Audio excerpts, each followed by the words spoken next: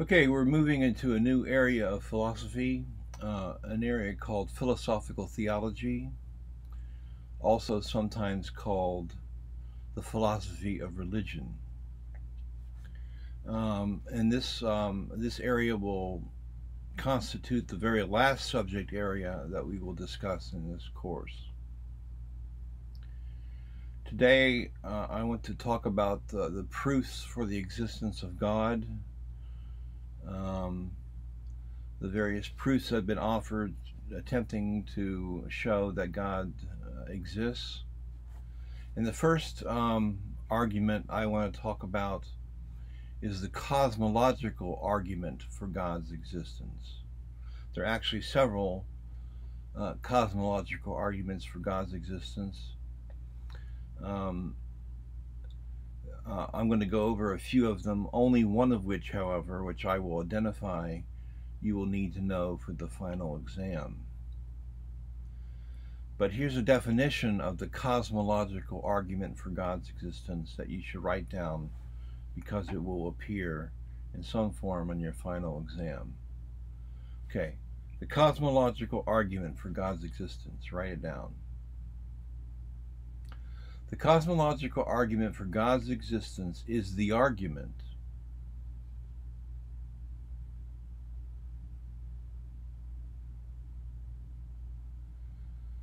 That the nature of the universe is such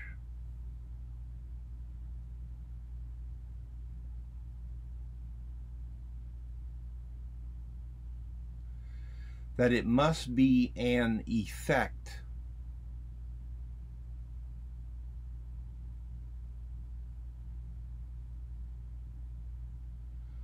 of an unique being capable of creating it.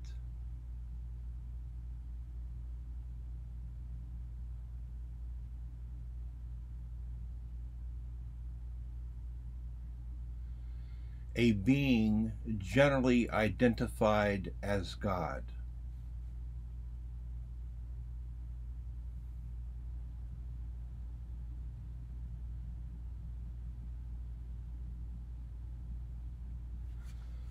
Okay, again, the cosmological argument for God's existence is the argument that the nature of the universe is such that it must be an effect of a unique being capable of creating it, a being generally identified as God. So basically, what it's saying is that God is the cause of the universe, and the universe is the effect of God's act of creation.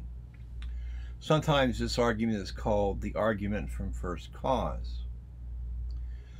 The argument turns on seeing the nature of the material of the universe as subject to change, as contingent, or that simply means dependent, and as finite, as limited. The argument dates back to Plato and was picked up and furthered by major monotheistic religions and a variety of philosophers.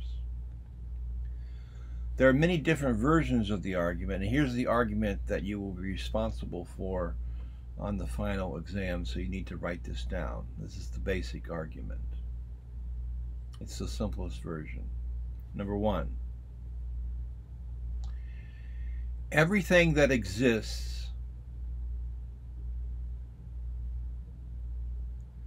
has a cause of its existence.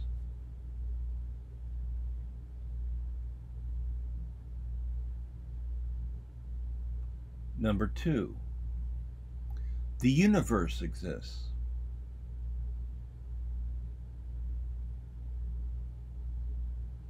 Number three, therefore the universe has a cause of its existence.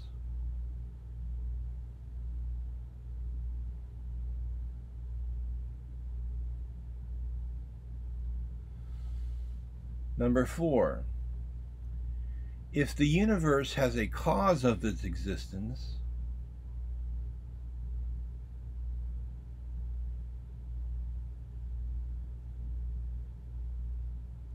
then that cause is God.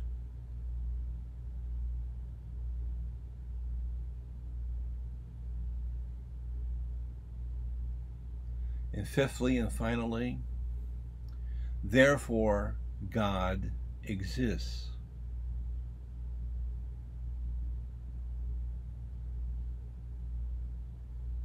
Okay, so here's the argument again. Number one, everything that, that exists has a cause of its existence. The universe exists, obviously. Thirdly, therefore the universe has a cause of its existence. Fourthly, if the, if the universe has a cause of its existence, then that cause is God. And fifthly and finally, therefore God exists. Now, many people have propagated uh, different versions of this argument over the years, and we'll be talking about some of those versions.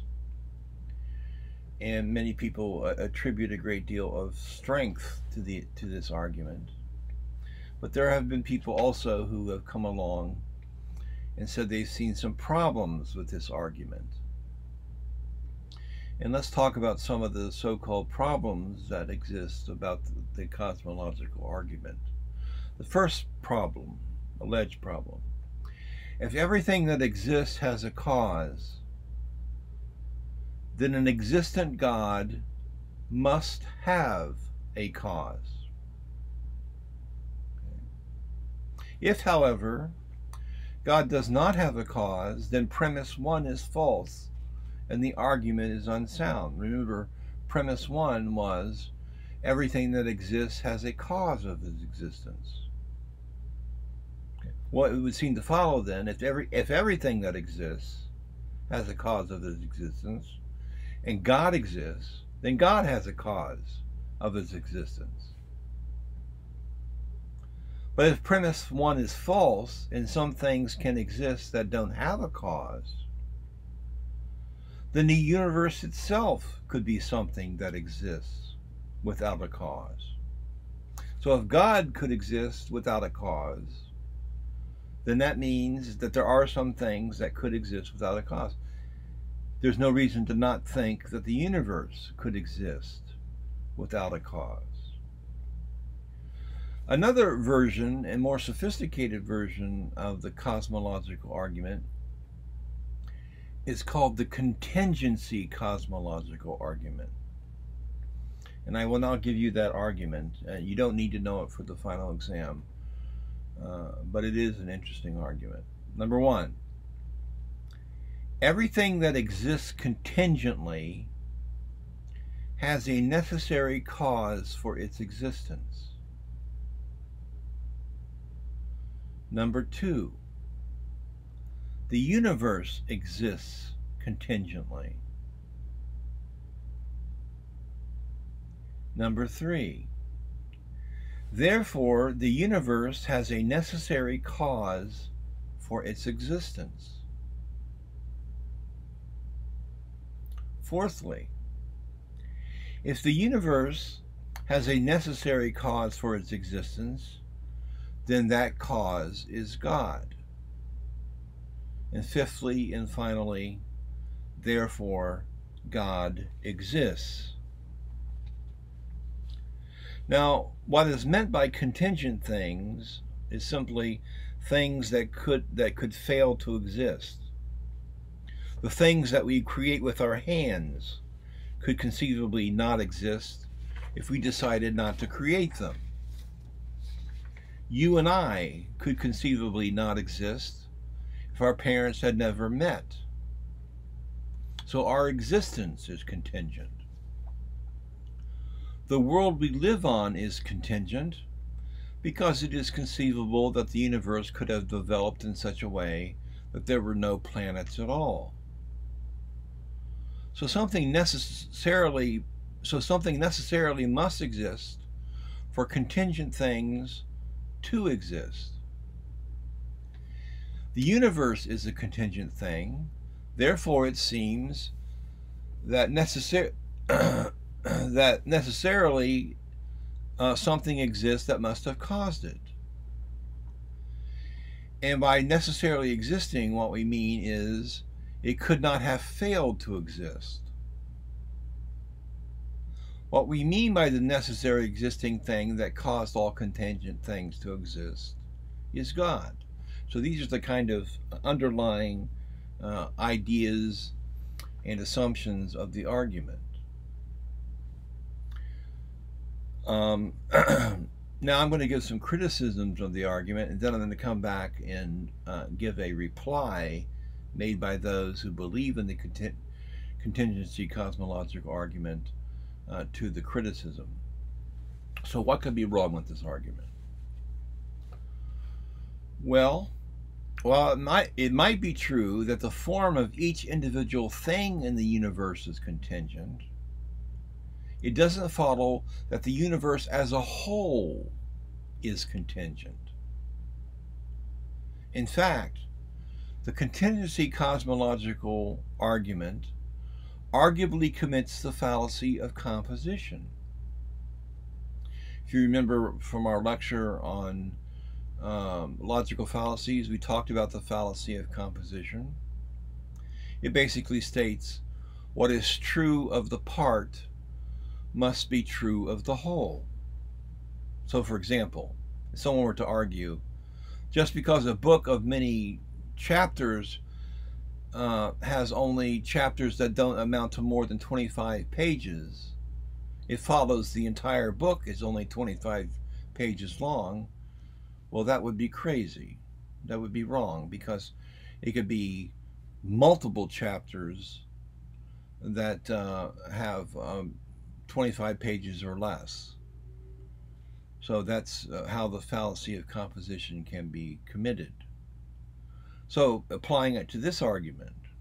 So just because the universe might be composed of contingent parts, it doesn't follow that the universe as a whole is contingent. So the universe as a whole might be necessary.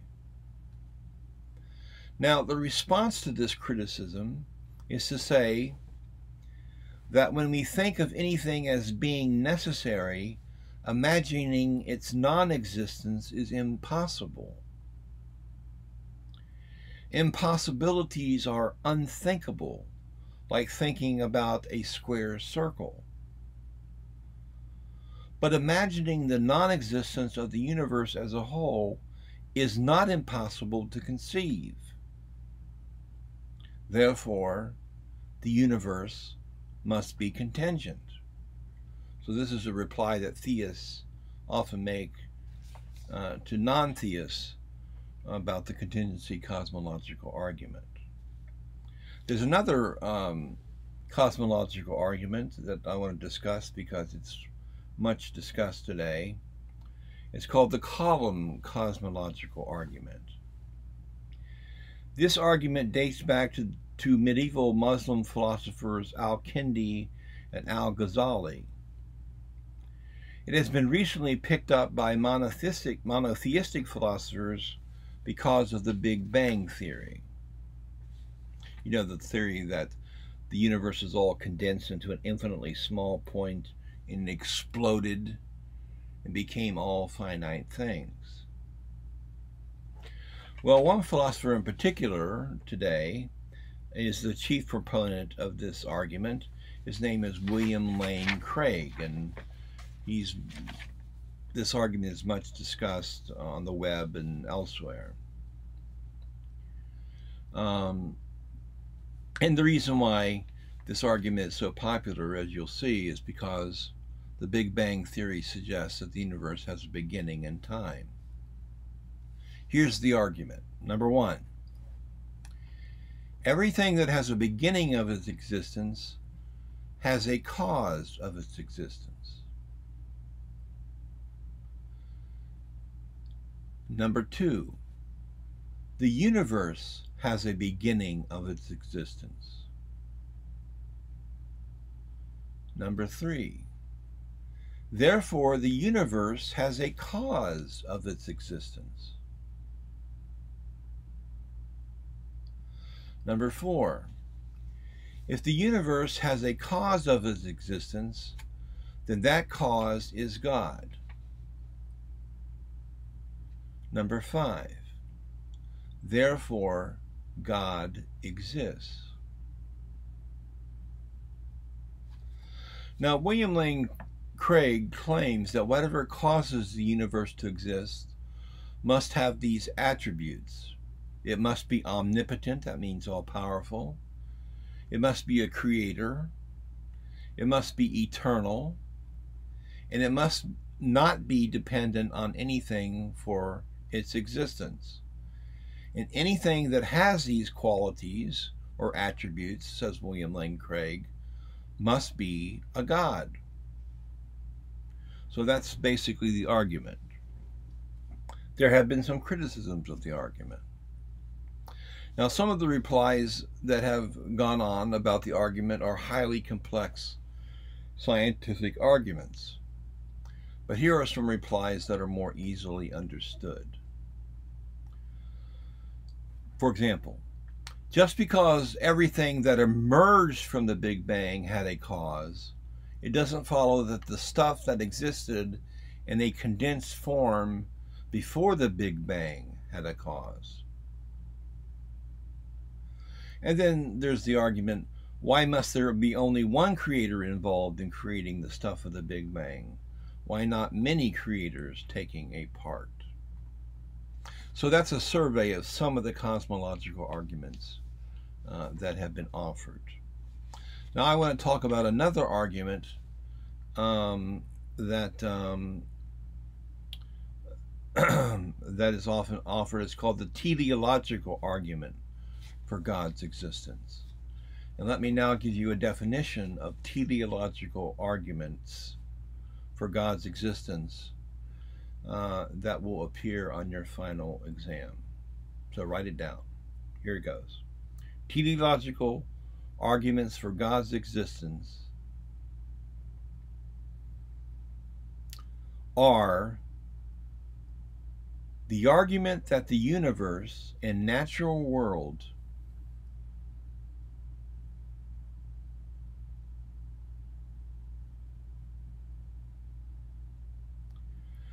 show evidence of deliberate design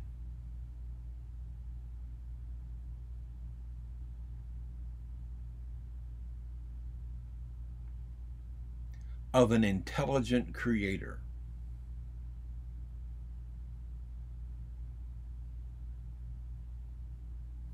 So again, the teleological arguments for God, God's existence are the arguments that the universe and natural world show evidence of the deliberate design of an intelligent creator. Teleological arguments for God's existence are also called arguments from design. It comes from the Greek word teleos, which means purpose or end. Now, versions of uh, the argument have, have been can be found in various holy books. For example, in the Old Testament, uh, Psalms 19.1, we read these words, The heavens declare the glory of God, and the firmament showeth his handiwork. And in the Quran, 31.20 asks this question, Do you not see that Allah has made what is in the heavens and what is in the earth subservient to you, and made complete to you his favors outwardly and inwardly? The philosopher and theologian St. Thomas Aquinas used a version of the teleological argument in his work on the five ways of knowing that God exists. William Paley has the most famous version of that of this argument, and we'll be talking about that briefly. Today's version that is often offered forms what has been called the called the intelligent design arguments. But let me give you a basic argument uh, for the teleological argument, and this argument will appear on your final exam. So you want to write it down. Okay, so the basic version of the teleological argument. Number one, human artifacts are products of intelligent design.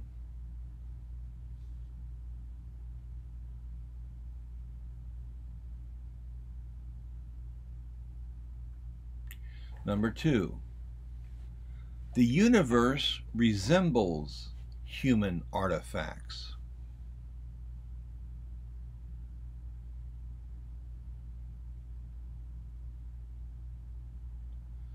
Number three, therefore the universe is a product of intelligent design.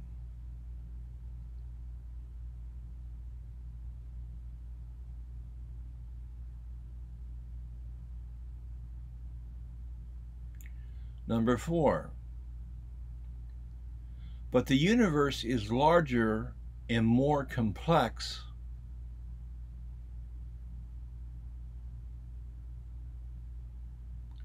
than human artifacts.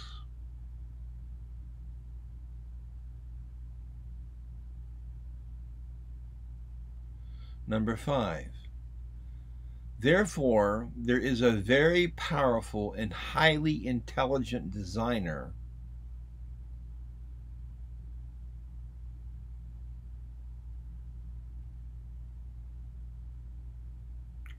who created the universe.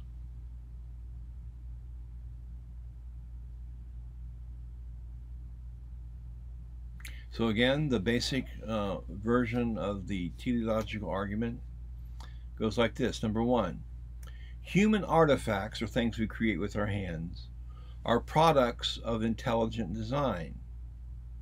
Number two, the universe resembles human artifacts. Thirdly, the universe is a product of intelligent design. Number four, but the universe is larger and more complex than human artifacts.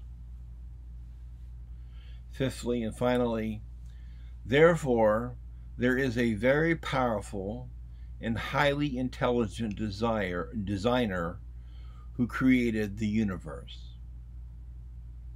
Now, as I said before, the most famous version of the argument was given by a man by the name of William Paley, P A L E Y. Paley compared the universe to a watch. It has many parts uh, designed to work in harmony with other parts to further a purpose, which a watch does. Just as the complexity, order, and purpose of a watch implies intelligent design, argued Paley, so too the complexity, order, and purpose of the universe implies intelligent design. In short, it implies a God. The argument is thus an argument from analogy. It analogizes from human artifacts to the, a God who designs the universe. Okay. Now, there have been various criticisms made of the teleological argument over the years. I'm going to give you some of those now. the first criticism was like this. Although the chances of a particular order of the universe, as it now is, is very small, even in a godless universe, the chances that some order would prevail is certain. So the fact that order exists in itself doesn't necessarily mean anything, this argument says. Because some order is going to exist. Now, this particular order that exists, the chances of that are very, very small. But that would be true of any order of the universe that would exist. Secondly, excuse me, the teleological argument trades on an understandable or beneficial order. In other words, things working out to serve some understandable or beneficial end. But what, but what about things that don't work out for understandable or beneficial ends? Accidents that cause great tragedy. explosions of stars in distant galaxies, galaxies colliding, black holes. What about more locally? Volcanoes, earthquakes, tidal waves. Do these prove disorder? And thirdly, the argument doesn't prove the existence of only one God. Uh, there could be several gods that uh, are responsible for the design of the universe, if it's designed at all. And fourthly, doesn't evolution eliminate the necessity of explaining the existence of beneficial biological characteristics as the product of design? So evolution basically would suggest, or some people would suggest, that evolution suggests that we don't need an intelligent designer. So that's the teleological argument. Let's now move on to another argument for God's existence called the ontological argument for God's existence. And ontological is spelled O N T O L O G I C A L, ontological. The ontological arguments for God's existence attempt to show that God's existence is necessary if he is the most perfect being. In other words, it would be self contradictory to deny God's existence.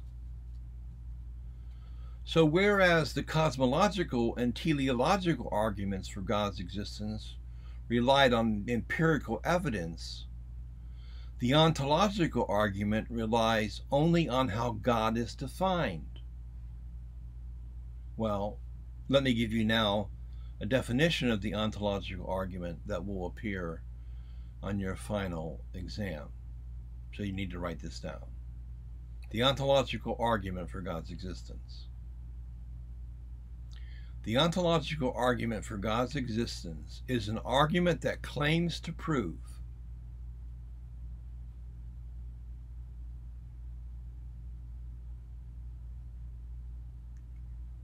on logical grounds that God exists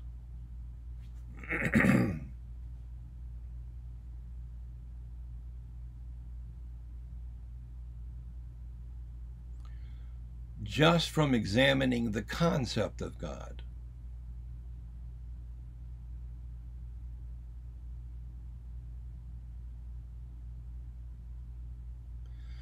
So again, the ontological argument for God's existence is an argument that is an argument that claims to prove on logical grounds that God exists just from examining the concept of God.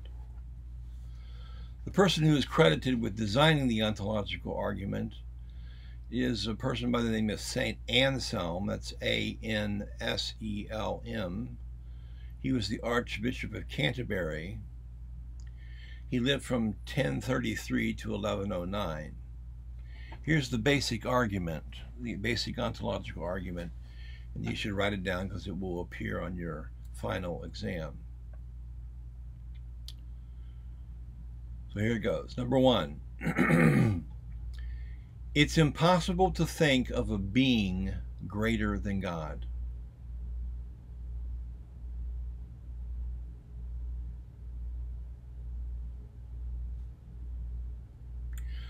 Number two, the greatest possible being either exists in the mind alone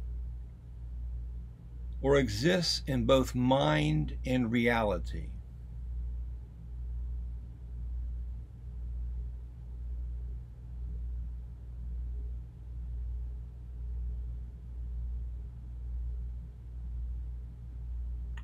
Number three, but existing both in the mind and reality is greater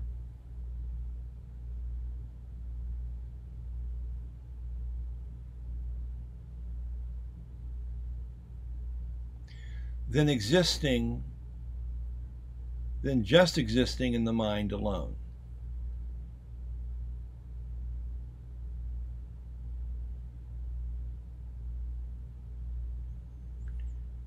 Number four. Therefore, the greatest possible being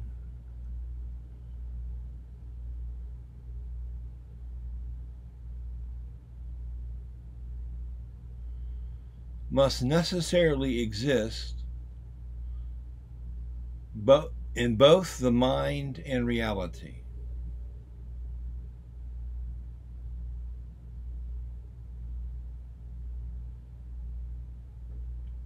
And fifthly and finally, therefore God exists.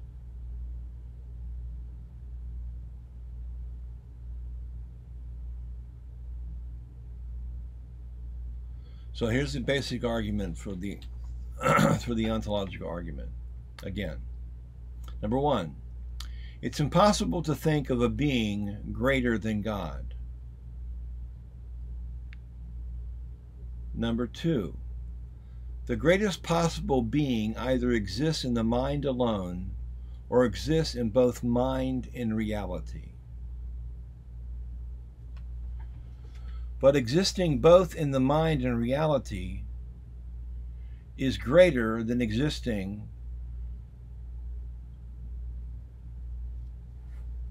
just in the mind alone. Number four. Therefore, the greatest possible being must necessarily exist in both the mind and reality. And fifthly and finally, therefore, God exists. So basically, what this argument is saying is that the greatest possible being that you can think of is God. What's greater? To exist just as a thought in the mind, or to exist as a thought in the mind in also reality? Well, if God is the greatest possible being, then it, imp- it, should, it implies necessarily, the argument claims, that God must exist both as a, as a thought in the mind, but also in reality. Because that's, that's a greater achievement. So God must necessarily exist in both the mind and reality and so therefore God exists. Now, there have been other versions of the argument. One was given by Descartes, and we talked about that fairly recently, but we already examined it when we looked at epistemology.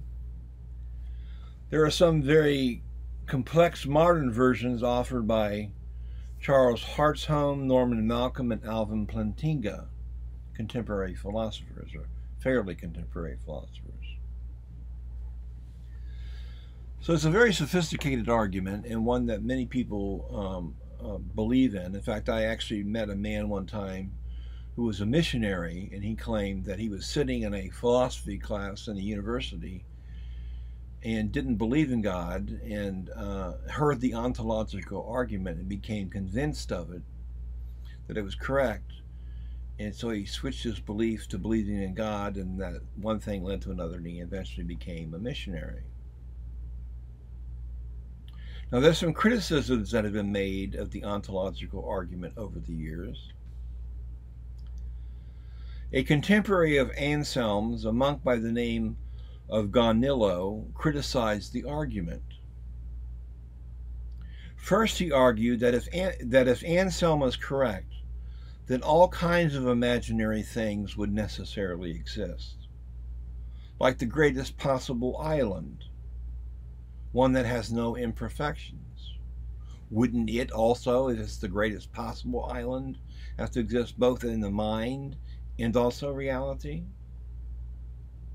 Another example often used is one of the most perfect golden mountain. Secondly, he argued that the notion of the greatest possible being cannot be conceived by human beings. We can't think of the greatest possible being. God is just too great for human beings to adequately conceive of his greatness.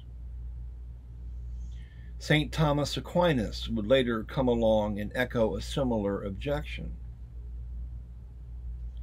The philosopher David Hume, whom we discussed before, criticized the ontological argument by arguing nothing can be proven to, exi- to exist just by the use of reason alone. He said that whatever we can conceive of as existing, we can also conceive as not existing. So there could be no logical impossibility about conceiving the non existence of God. Another philosopher that we discussed in the course, Immanuel Kant, he criticized the argument. He argued that how something is defined doesn't necessarily entail its existence. I can define a triangle as having three sides, but just giving it a definition doesn't necessitate that a triangle must exist.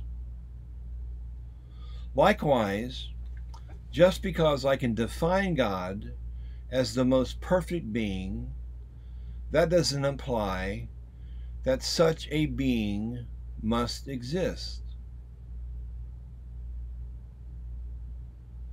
Kant also argued that because God exists outside of perceptual experience in nature, it's not possible to know how one can prove God's existence.